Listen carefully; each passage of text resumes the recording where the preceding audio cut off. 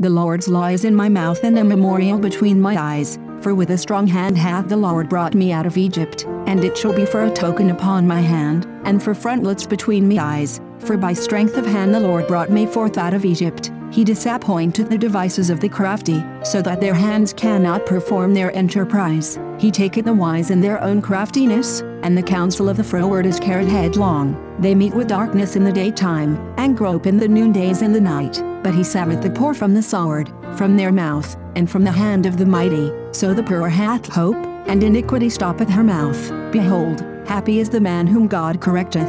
Therefore despise not thou the chastening of the Almighty, for he maketh sour, and bindeth up, he roundeth, and his hands make whole, the Holy One of Israel, it is his strength that will always prevail.